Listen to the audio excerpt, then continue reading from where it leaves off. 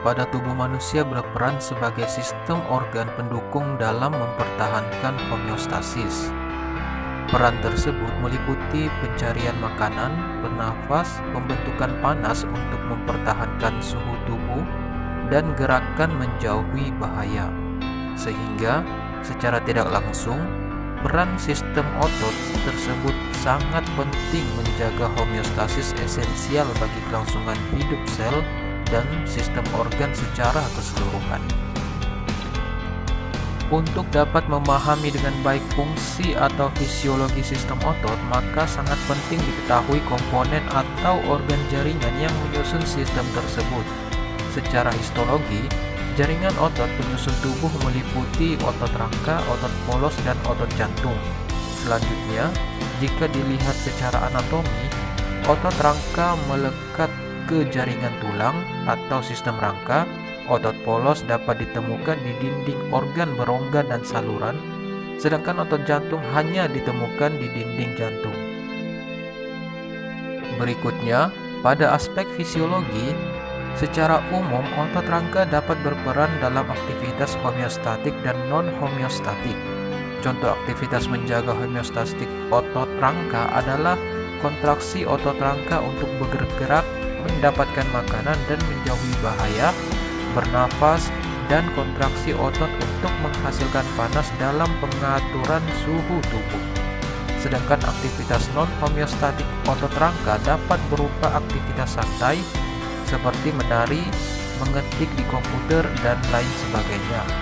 Selanjutnya, otot polos berfungsi mengatur gerakan darah melintasi pembuluh darah, makanan melintasi saluran pencernaan, udara melintasi saluran pernafasan dan pengeluaran urin ke lingkungan luar tubuh. Sedangkan otot jantung berkontraksi berfungsi memompa darah ke seluruh tubuh. Otot membentuk kelompok jaringan terbesar di tubuh dan menghasilkan sekitar separuh dari berat tubuh. Otot rangka membentuk sekitar 40% berat tubuh pada pria dan 32% pada wanita dengan otot polos dan otot jantung membentuk sekitar 10% lainnya dari berat total. Ketiga tipe otot ini dapat dibedakan berdasarkan struktur dan prinsip kerjanya. Secara struktur, otot rangka dan otot jantung disebut otot berlurik atau serat lintang, sedangkan otot polos tidak berlurik. Selanjutnya berdasarkan prinsip kerja, otot rangka disebut otot volunteer, yaitu otot yang kerjanya disebabkan kontrol saraf somatik dan berada di bawah kontrol kesadaran. Sedangkan otot polos dan otot jantung disebut involunteer karena kerjanya dikontrol oleh saraf otonom dan tidak berada di bawah kontrol kesadaran. Meski otot rangka digolongkan sebagai volunteer, namun banyak juga aktivitasnya di bawah kontrol involunteer seperti mempertahankan postur tubuh, keseimbangan, dan gerakan stereotipikal. Kita akan membahas hal ini berikutnya, namun sebelumnya kita akan mempelajari secara detail tentang sel otot dan kontraksi minimal atau kedutan yang dihasilkan oleh satu serat otot. Pada video ini pembahasan kita mulai dengan otot rangka dan bagaimana kontraksi sebuah sel otot yang disebut kedutan dan kontraksi sistem otot secara keseluruhan serta beberapa contoh gangguan pada kontraksi. Satu sel otot rangka disebut serat otot, memiliki ukuran relatif besar, memanjang dan berbentuk silindris dengan ukuran garis tengah berkisar dari 10 hingga 100 mikrometer dan panjang hingga 75 cm. Jika diperhatikan gambar ini, terlihat bahwa otot rangka terdiri dari sejumlah serat otot yang terletak sejajar satu sama lain dan disatukan oleh jaringan ikat.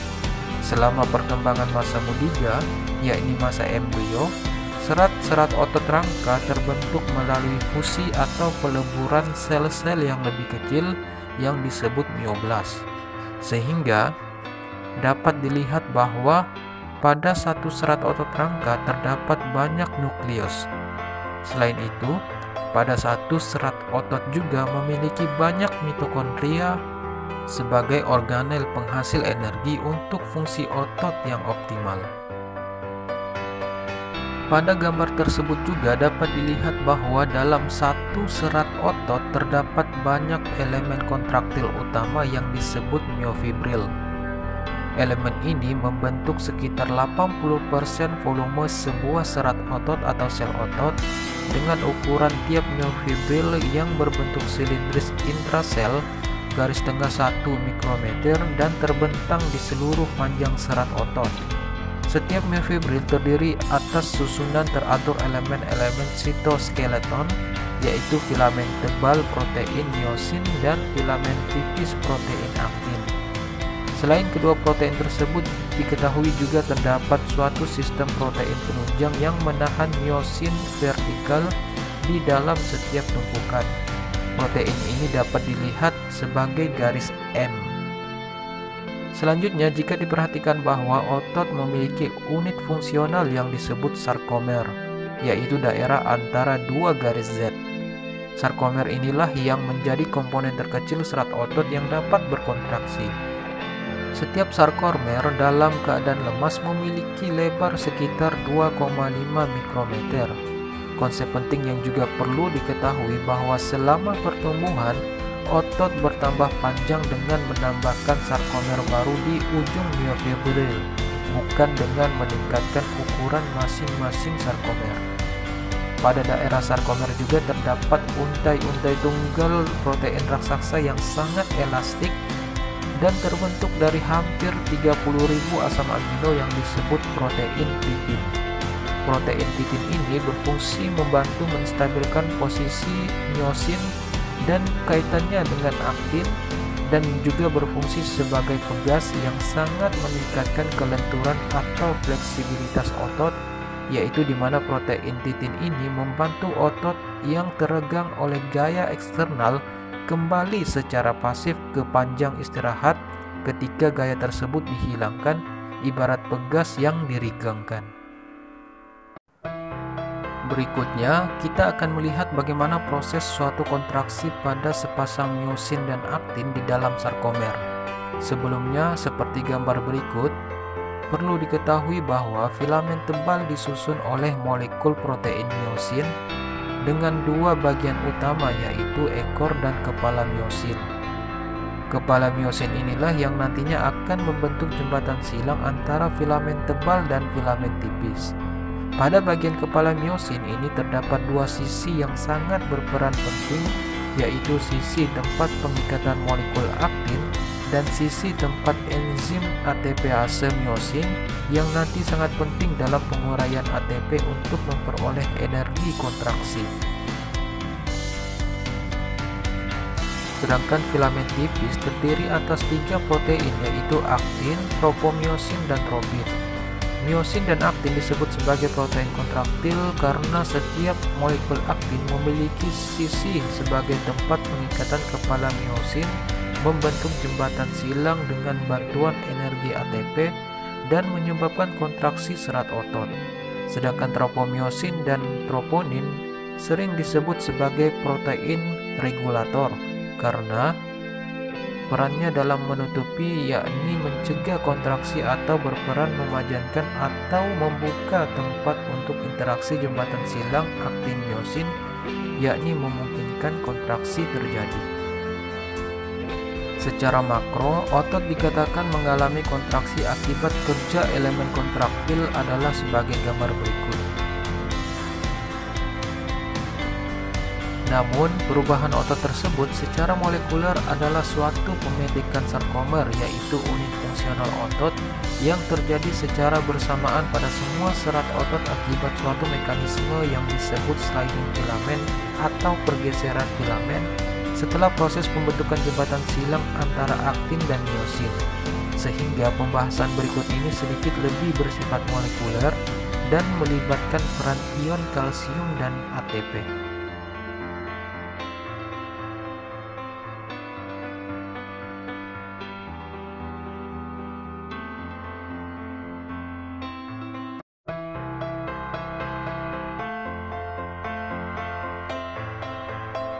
Suatu proses kontraksi diawali dengan rangsangan saraf melalui pelepasan asetilkolin di taut neuromuskular antara terminal akson neuron motorik dan motor end plate serat otot sehingga menyebabkan perubahan permeabilitas serat otot dan, dan menghasilkan potensial aksi yang dihantar ke seluruh permukaan membran sel otot.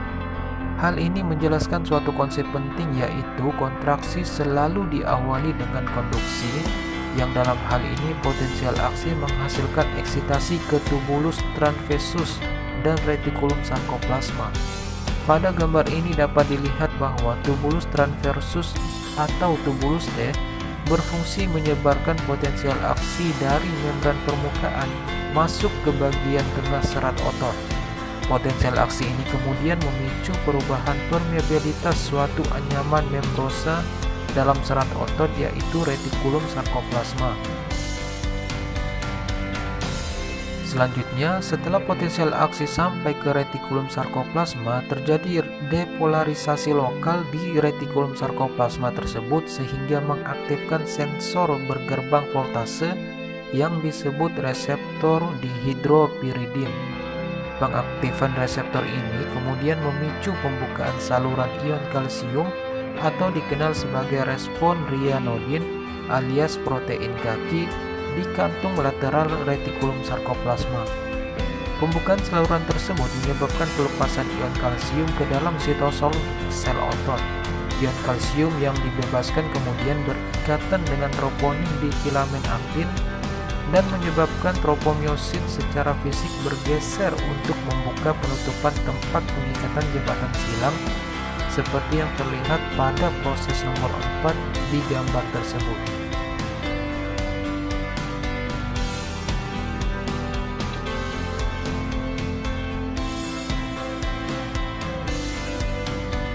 Seperti yang telah disebutkan sebelumnya bahwa selain ion kalsium, ATP juga sangat penting dalam menghasilkan kontraksi otot.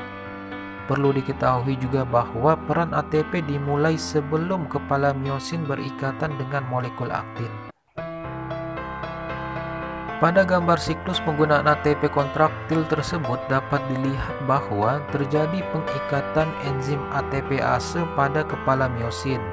Selanjutnya, ATP yang banyak terdapat di sarkoplasma ya, yaitu sitoplasma otot bereaksi terhadap enzim ATPase miosin tersebut dan diurai menjadi ADP dan fosfat inorganik yang masih melekat kepada kepala miosin.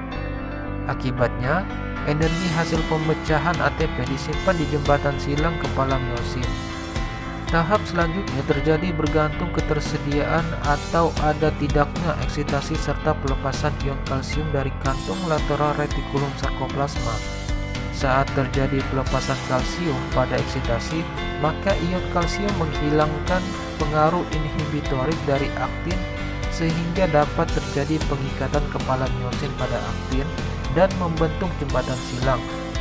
Selanjutnya terjadi kayuhan bertenaga jembatan silang di mana fosfat inorganik dilepaskan selama kayuhan sedangkan ADP dilepaskan setelah kayuhan.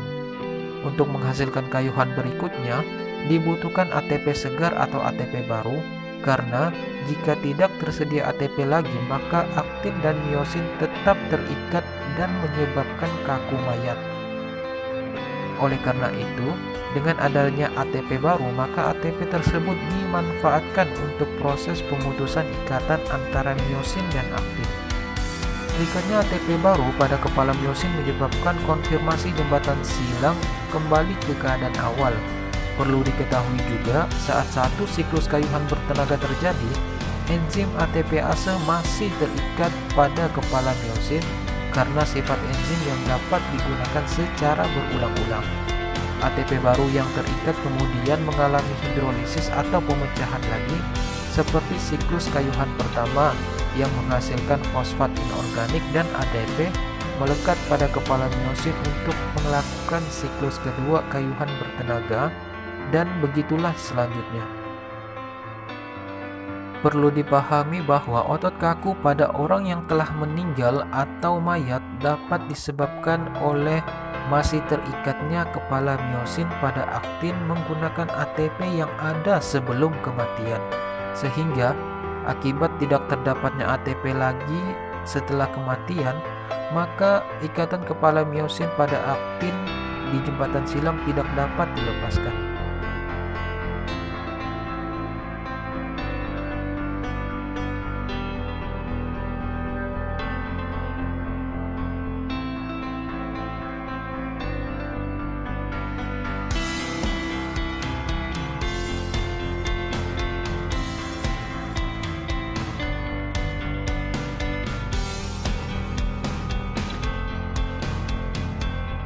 Kita telah mengikuti proses molekuler bagaimana terjadinya kontraksi otot. Lantas, bagaimana proses molekuler saat otot mengalami relaksasi?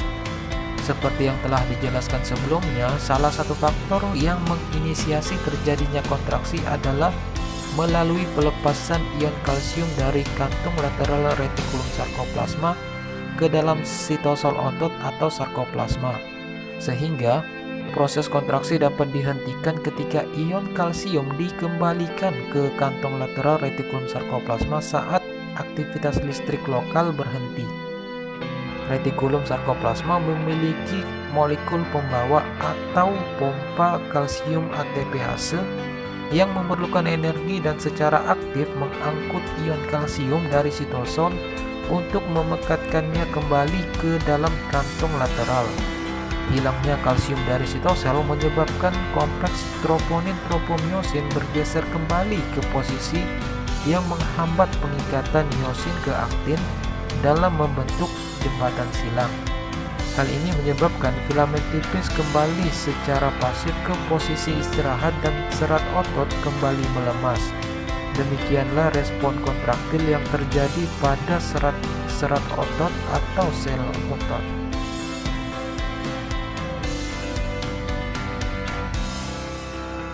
Selanjutnya kita akan melihat bagaimana otot secara keseluruhan atau serat otot dalam jumlah yang banyak berkontraksi secara bersamaan untuk menghasilkan gerak tubuh contohnya pada otot rangka. Perlu disadari bahwa di tubuh kita sistem otot dibentuk oleh kelompok-kelompok serat otot. Setiap orang memiliki sekitar 600 otot rangka yang ukurannya berkisar dari otot mata eksternal yaitu sekitar ratusan serat otot hingga otot kaki yang besar dan kuat yang mengandung ratusan ribu serat atau sel otot. Jaringan ikat membungkus dan membagi otot menjadi berkas-berkas otot dengan jaringan ikat yang meluas melewati ujung-ujung otot untuk membentuk tendon kolagen yang kuat yang kemudian melekat ke tulang. Kontraksi otot yang terlalu singkat dan lemah akibat satu potensial aksi pada sebuah serat otot disebut kedutan. Sedangkan serat-serat otot tubuh tersusun membentuk otot lengkap yang berfungsi secara kooperatif untuk menghasilkan kontraksi dengan kekuatan bervariasi dan lebih kuat daripada kedutan.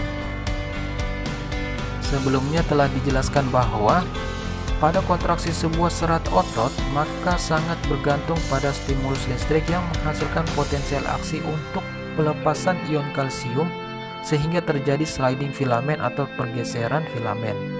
Namun, pada kontraksi otot secara keseluruhan atau kontraksi sejumlah serat otot sangat untuk menghasilkan gerak sangat bergantung pada tingkat rekrutmen unit motorik. Sebelumnya perlu diketahui bahwa unit motorik didefinisikan sebagai satu komponen yang terdiri atas neuron motorik dan sejumlah serat otot yang disarafinya. Jika diperhatikan gambar tersebut terlihat bahwa pada sebuah otot rangka contohnya otot bicep dapat terdiri dari sejumlah unit motorik yang saling bercampur sehingga untuk kontraksi lemah suatu otot seperti saat mengangkat selembar kertas hanya satu atau beberapa unit motorik yang diaktifkan.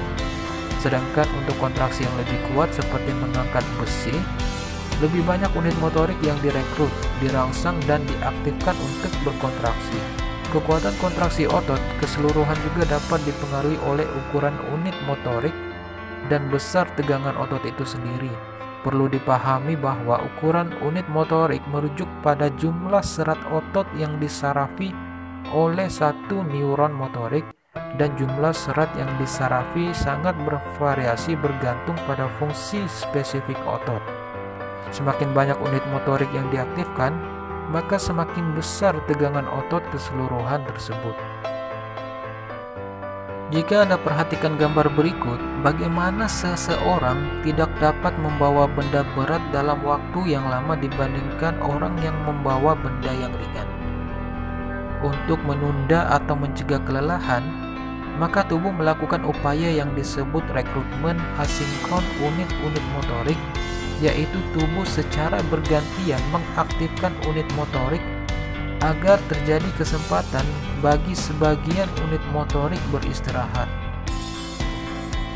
Rekrutmen ini berlangsung dengan koordinasi terkontrol dan hanya terjadi untuk kontrol submaksimal yaitu saat hanya sebagian unit motorik yang harus mempertahankan tingkat tegangan. Selain jumlah serat, jenis serat otot yang diaktifkan juga sangat mempengaruhi proses rekrutmen asinkronisasi unit motorik dalam mencegah kelelahan. Jenis serat otot merujuk pada proses metabolis dalam serat terkait sehingga selama aktivitas fisik daya tahan ringan hingga sedang seperti olahraga aerobik, unit motorik yang paling resisten atau kebal terhadap kelelahan direkrut pertama kali. Sedangkan untuk kerja dengan peningkatan tegangan lebih lanjut, maka serat paling mudah lelah direkrut terakhir. Demikianlah salah satu upaya tubuh melaksanakan rekrutmen atau pengaktifan unit motorik untuk mencegah kelelahan otot.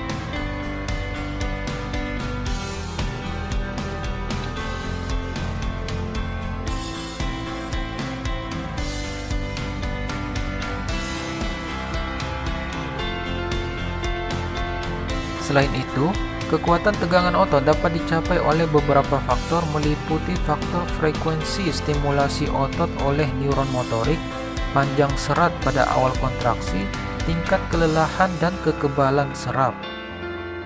Sebelum kita membahas lebih detail terkait faktor-faktor tersebut, perlu dipahami konsep tegangan pada sistem otot ini.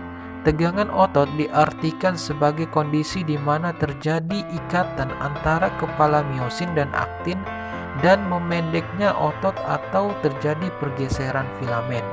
Sehingga untuk pembahasan selanjutnya, setiap penggunaan istilah tegangan otot, maka hal itu merujuk kepada dua kondisi yaitu terbentuknya jembatan silang dan terjadinya pergeseran filamen atau pemendekan otot.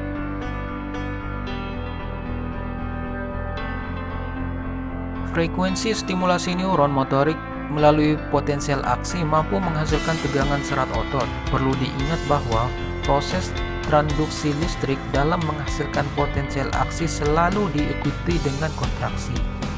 Setelah itu, otot yang telah kontraksi akan mengalami relaksasi. Namun, jika serat otot dirangsang kedua kalinya sebelum serat tersebut mengalami relaksasi sempurna dari kedutan pertama, maka potensial aksi kedua menyebabkan respon kontraktil kedua. Kedua kedutan dari dua potensial aksi dijumlahkan untuk menghasilkan tegangan serat otot yang lebih besar daripada yang dihasilkan oleh satu potensial aksi. Penjumlahan kedutan hanya dapat terjadi karena durasi potensial aksi yaitu sekitar 1 hingga 2 milidetik jauh lebih singkat daripada durasi kedutan yang ditimbulkan yaitu selama 100 milidetik. Jika serat otot dirangsang sedemikian cepat sehingga serat tersebut sama sekali tidak mendapatkan kesempatan untuk relaksasi di antara dua stimulus yang diterima dengan frekuensi yang tinggi, maka timbul kontraksi menetap dengan kekuatan maksimal yang disebut tetanus. Secara molekuler, Kontraksi tetanus terjadi akibat peningkatan siklus jembatan silang yang disebabkan oleh menetapnya ion kalsium di dalam sitosol atau tidak sempatnya ion kalsium kembali masuk ke dalam kantong lateral retikulum sarkoplasma. Akibatnya tegangan yang terbentuk semakin tinggi. Berikutnya, panjang serat pada awal kontraksi merupakan faktor lain yang dapat mempengaruhi tegangan otot. Namun faktor ini tidak berada di bawah kontrol saraf secara langsung. Pada gambar ini, Bagian yang ditandai dengan huruf A menunjukkan panjang serat otot yang optimal pada awal sebelum kontraksi untuk menghasilkan tegangan yang maksimal. Hal ini disebabkan terjadinya pengikatan optimal kepala miosin terhadap aktin, sehingga jika terjadi pergeseran filamin pada keadaan ini akan meningkatkan lagi tegangan otot. Berbeda dengan bagian yang ditandai dengan huruf B, C, dan D, terlihat bahwa panjang serat otot awal di keadaan ini tidak akan menghasilkan tegangan maksimal karena pada gambar huruf B dan C terlihat ada kepala miosin yang tidak berikatan pada aktin sehingga saat kontraksi tegangan otot yang dihasilkan tidak maksimal. Sama halnya dengan gambar huruf D terlihat aktin dan miosin saling tumpang tindih dan membatasi interaksi jembatan silang sehingga sangat sulit juga terjadi sliding filamen dan kecilnya tegangan otot. Selain faktor frekuensi stimulus dan panjang serat otot awal kontraksi, faktor ketiga yang dapat mempengaruhi kekuatan tegangan serat otot adalah kemampuan metabolik serat otot terhadap ketahanan dari kelelahan. Seperti yang kita sedia maklum, salah satu fungsi proses metabolisme adalah menyediakan energi ATP untuk aktivitas sel otot. Sehingga dengan adanya energi ATP ini, maka kelelahan otot dapat diminimalisir. ATP dalam proses kontraksi relaksasi serat otot diperlukan pada ketiga keadaan yaitu pembentukan energi untuk kayuhan bertenaga, pelepasan jembatan silang dan pengaktifan transport aktif ion kalsium untuk mengembalikan ion tersebut ke dalam retikulum sarkoplasma. Maka, agar aktivitas kontraktil dapat berlanjut dengan baik, ATP harus terus-menerus diberikan. Sebelum kita membahas metabolisme ATP untuk kontraksi otot, maka perlu diketahui bahwa terdapat dua jenis kelelahan yaitu kelelahan otot dan kelelahan sentral. Kelelahan otot adalah suatu mekanisme pertahanan untuk melindungi otot agar otot tidak mencapai titik di mana ATP tidak lagi dapat diproduksi. Kelelahan otot dapat terjadi akibat ketidakmampuan melakukan kontraksi dengan derajat yang sama dapat disebabkan oleh beberapa faktor yaitu meningkatnya ADP dan fosfat inorganik, akumulasi asam laktat dan kalium ekstrasel serta terkurasnya cadangan energi glikogen baik dari otot itu sendiri maupun dari organ hati. Sedangkan kelelahan sentral terjadi ketika sistem saraf pusat tidak lagi secara adekuat mengaktifkan neuron-neuron motorik yang mensarafi otot. Hal ini juga dapat disebabkan ketidakmampuan neuron motorik aktif untuk membentuk asetikolin dalam kecepatan tertentu saat olahraga. Faktor psikologi juga dapat menjadi penyebab kelelahan seperti kurang tidur dan stres yang bukan akibat dari aktivitas fisik. Serat atau sel otot memiliki jalur alternatif untuk membentuk ATP yaitu transfer fosfat berenergi tinggi dari kreatin fosfat ke ADP jalur fosforilasi oksidatif, siklus asam sitrat dan sistem transport elektron, dan jalur glikolisis. Kemampuan serat otot membentuk ATP melalui jalur alternatif ini menentukan kekuatan tegangan otot persatuan waktu. Serat otot yang beristirahat memiliki kreatin fosfat 5 kali lebih banyak daripada ATP. Sehingga kreatin fosfat menjadi sumber utama ATP untuk menghasilkan energi karena dapat dihasilkan dalam waktu yang singkat dan cepat yaitu sepersekian detik dan merupakan energi yang pertama kali digunakan ketika olahraga dimulai atau aktivitas fisik intensitas tinggi untuk waktu yang singkat seperti lompat tinggi, lari sprint, dan mengangkat beban. Sedangkan untuk aktivitas yang membutuhkan kekuatan tegangan serat otot yang berdurasi lebih lama atau aktivitas daya tahan seperti jalan cepat, jogging atau bersepeda, maka serat otot beralih ke jalur pembentukan ATP fosforilasi oksidatif. Jika jalur kreatin fosfat dan glikolisis berlangsung di dalam serat otot, maka jalur fosforilasi oksidatif berlangsung di dalam mitokondria serat otot. Proses metabolisme energi ini berlangsung jika tersedia oksigen yang cukup, karena oksigen sangat diperlukan dalam pembentukan energi khususnya pada fase sistem transport elektron. Jumlah ATP yang dihasilkan melalui jalur alternatif ini lebih banyak yaitu sekitar 36 ATP. Namun kelemahannya adalah proses pembentukan ATP relatif lambat karena banyaknya tahap reaksi kimia yang harus dilalui. Jalur alternatif ketiga dalam pembentukan ATP yang juga menentukan kekuatan tegangan otot adalah jalur glikolisis. Jalur ini dijalankan saat sel otot mengalami penurunan ketersediaan jumlah oksigen akibat pembatasan pernapasan dan kardiovaskuler. Pembatasan ini disebabkan oleh aktivitas fisik maksimal sehingga kontraksi yang kuat menekan pembuluh darah yang berjalan melintasi otot untuk menyalurkan oksigen. Meski jalur glikolisis ini dapat membentuk ATP lebih cepat dibandingkan jalur fosforilasi oksidatif, namun kelemahannya jalur ini kurang efektif dalam hal menyediakan jumlah ATP yang besar karena ATP yang dihasilkan dari proses glikolisis sebanyak 2 ATP untuk setiap molekul glukosa. Faktor terakhir yang dapat mempengaruhi kekuatan tegangan otot adalah karakteristik serat otot rangka itu sendiri dalam melakukan metabolisme untuk menghasilkan ATP dan kemampuan otot mengalami adaptasi sebagai respon terhadap kebutuhan yang dibebankan kepada serat otot tersebut. Berdasarkan kapasitas biokimianya, terdapat tiga jenis utama serat otot yaitu serat oksidatif lambat tipe 1, serat oksidatif cepat tipe 2A dan serat glikolitik cepat tipe 2X.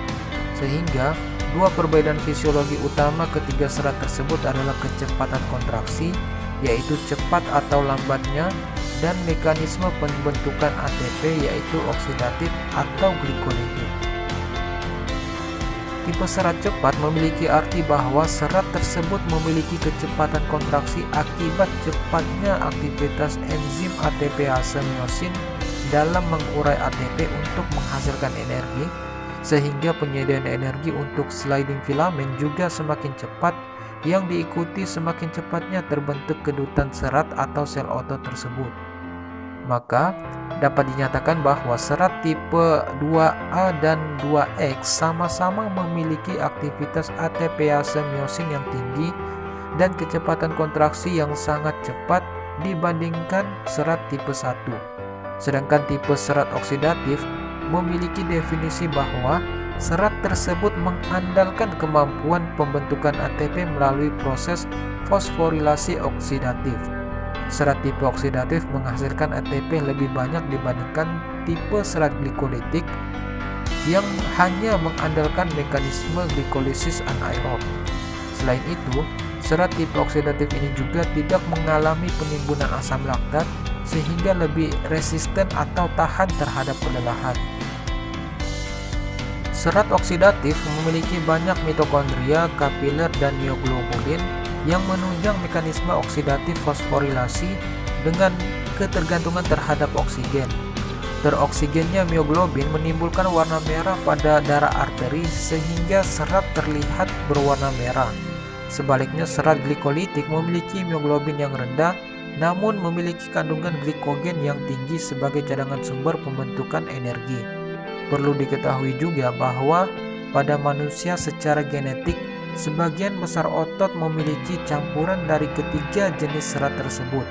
Namun, pada bagian-bagian tertentu tubuh seperti otot punggung dan tungkai, ditemukan satu tipe otot dominan yaitu serat oksidatif lambat karena serat ini hanya berfungsi dalam menopang berat tubuh terhadap gravitasi. Faktor genetik serat otot ini jugalah yang menjelaskan alasan mengapa seorang atlet hanya sesuai pada salah satu cabang olahraga selain aspek psikologi seperti tekad, usaha keras pada tingkat dan latihan tertentu.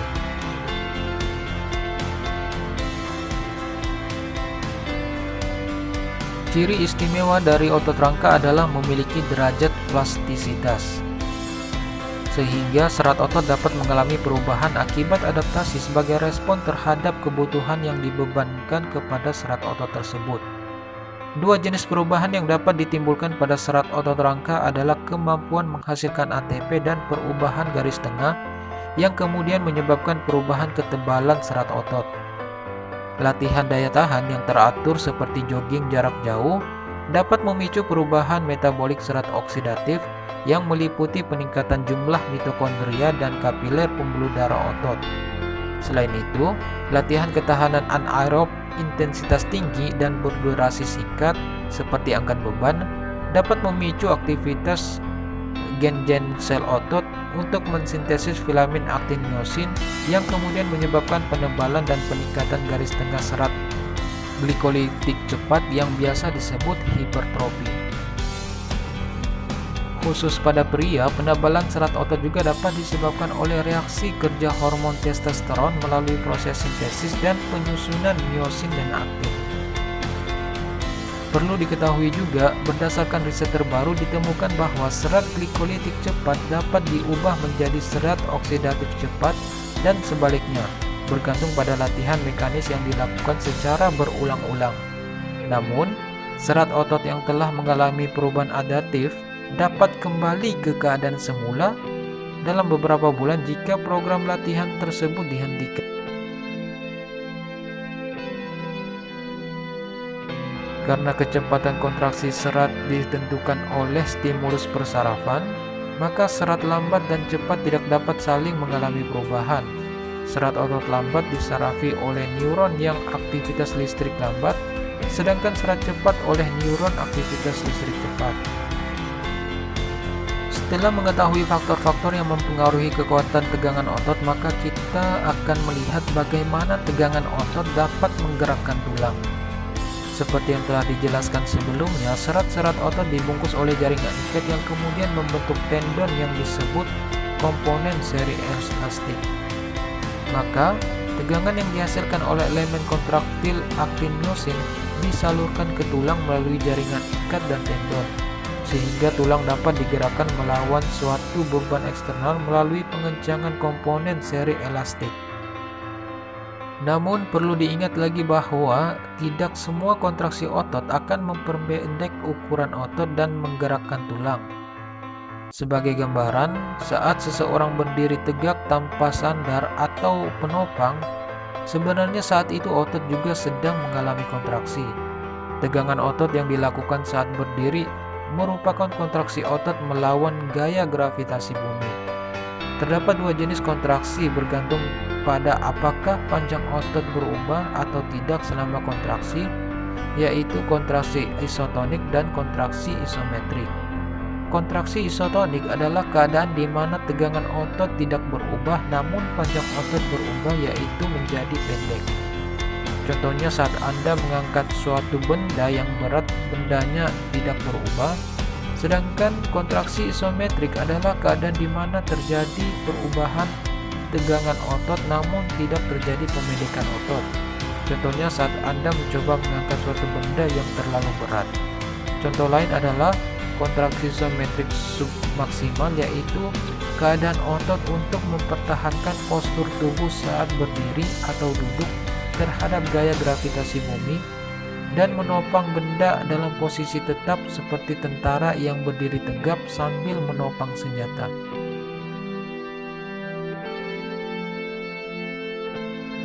Selanjutnya kita akan melihat bagaimana mekanisme sentral dan lokal yang berperan mengatur atau mengontrol aktivitas motorik oleh serat atau sel-sel otot dalam menghasilkan gerak atau respon motorik. Kontrol setiap gerakan motorik bergantung pada tingkat aktivitas dimasukkan prasinaps yang berkonvergensi di neuron motorik yang mensarafi berbagai otot. Sinyal-sinyal tersebut berasal dari tiga sumber.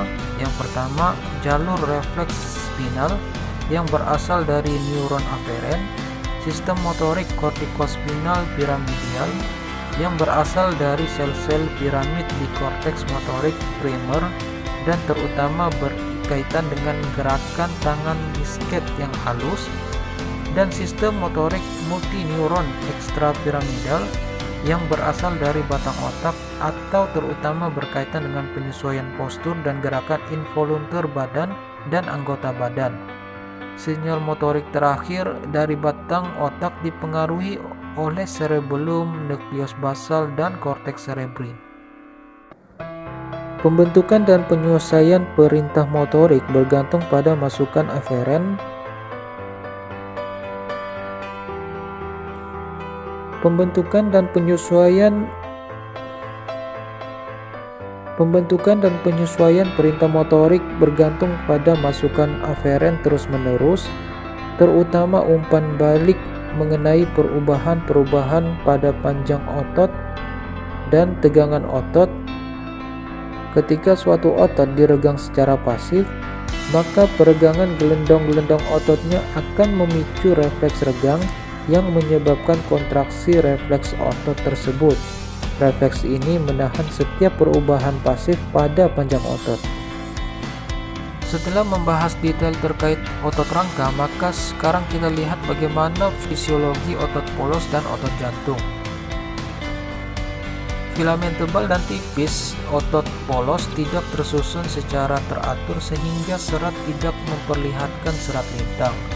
Pada otot polos, Ion kalsium sitosol yang masuk dari cairan ekstrasel dan juga dibebaskan dari simpanan intrasel yang terbebas mengaktifkan siklus jembatan silang dengan memicu serangkaian reaksi biokimia yang menyebabkan fosforilasi jembatan silang miosin yang memungkinkannya bereaksi dengan aktin.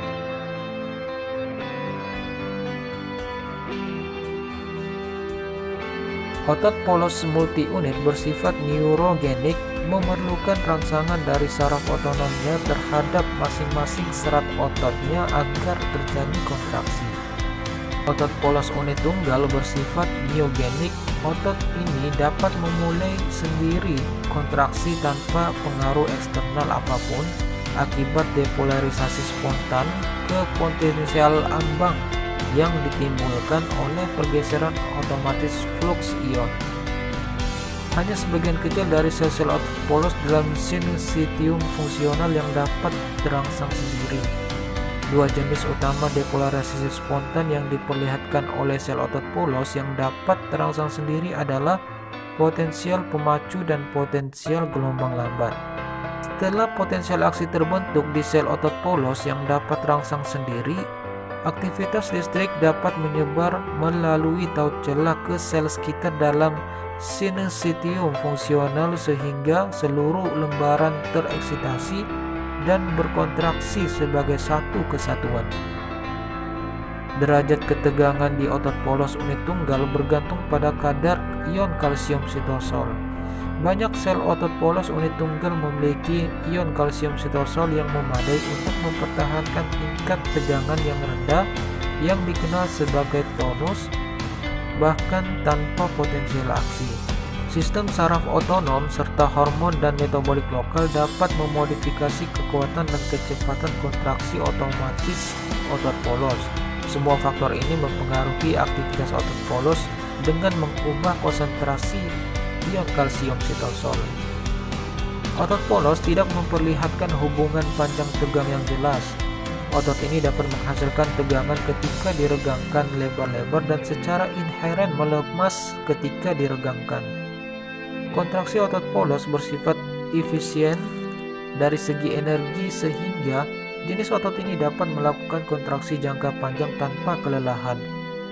Sifat hemat ini disertai oleh kenyataan bahwa otot polos unit tunggal dapat berada dalam berbagai panjang tanpa banyak mengalami perubahan tegangan, menyebabkan otot polos unit tunggal sangat cocok untuk membentuk dinding organ berongga yang dapat diregangkan.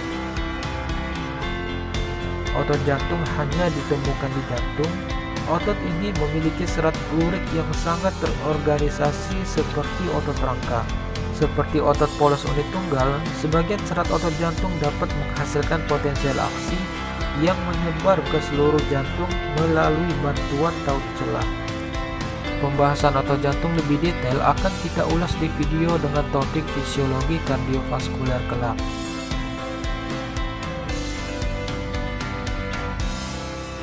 Sebagai kesimpulan, fisiologi otot memiliki karakteristik unik pada masing-masing tepe otot sesuai struktur dan fungsi jaringan otot tersebut dalam menjalankan fungsinya sebagai sistem pendukung yang mempertahankan hemostasis fisiologi sistem organ tubuh lainnya.